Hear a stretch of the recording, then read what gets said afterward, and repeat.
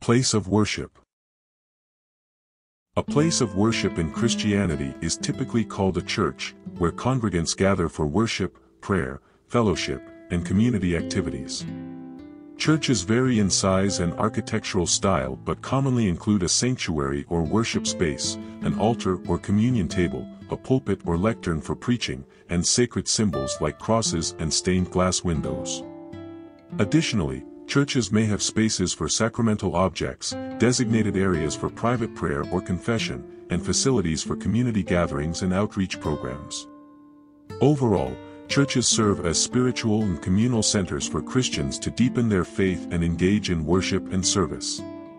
A mosque, also known as a masjid, serves as the primary place of worship and community gathering for Muslims.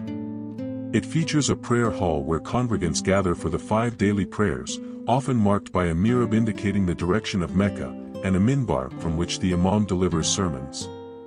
Minarets and domes may adorn the mosque's exterior, with minarets used for the call to prayer. Mosques also typically offer educational facilities, ablution areas, and community spaces for social activities and events. Overall, mosques play a central role in Muslim communities, providing spaces for worship, education, and communal gatherings. Hindu places of worship, known as temples or mandirs, are sacred spaces where devotees gather for worship, prayer, and religious rituals. These temples typically feature a central sanctum housing the main deity, surrounded by towering spires, assembly halls, entrance towers, and enclosed courtyards. Devotees offer prayers, make offerings, and participate in religious ceremonies to connect with the divine. Hindu temples serve as focal points for spiritual devotion, community gatherings, and cultural events, providing opportunities for devotees to deepen their faith and engage in religious practices. A synagogue, also known as a shul or temple, serves as a place of worship, study, and community gathering for Jews.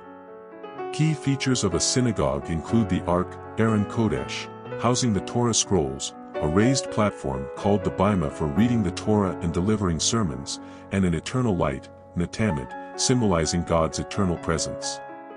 Synagogues also provide prayer books, Siddurim, seating areas for congregants, and ritual objects for worship. Additionally, many synagogues offer social halls, educational facilities, and memorial walls, creating a space for Jews to come together for prayer, learning, and communal events. Buddhist places of worship, such as temples and monasteries, serve as centers for spiritual practice, meditation, and community gatherings. They typically feature main shrine halls with Buddha images or statues, altars for offerings, and meditation halls for contemplative practice. Monastic quarters provide living space for resident monks and nuns, while libraries and study rooms offer resources for Buddhist study and scripture. These places also often display Buddhist art and symbols and may include pagodas, prayer wheels, and bell towers.